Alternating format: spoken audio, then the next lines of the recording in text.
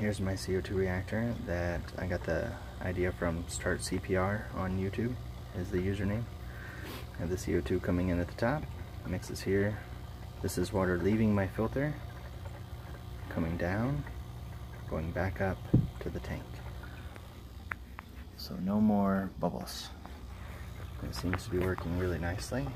Turn it up some, you can see more of the bubbles reacting. Turn it down, that's probably about how it will normally be. So because the CO2 is coming up so high, this part's probably has the air. And if I turn this all the way off, you can see that's about how much air I have in there now. But I just finished it, so that's more, that's a lot of probably just room air and not actually CO2. And that will slowly dissolve in the water as well. But a very simple design.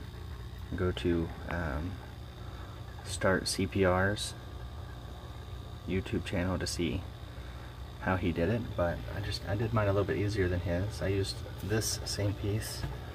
Um, however, I just used one piece to connect. Uh, here you can see I have PVC tubing underneath this clear gravel filter that I've cut in half. So this was a, a gravel filter originally. This is PVC pipe with a coupler. Here's a reducer to a threaded piece, and there's a brass piece inside both ends. So the part that goes into the PVC is threaded. This part up here is barbed to fit a 5 8 inner diameter um, reinforced vinyl tubing.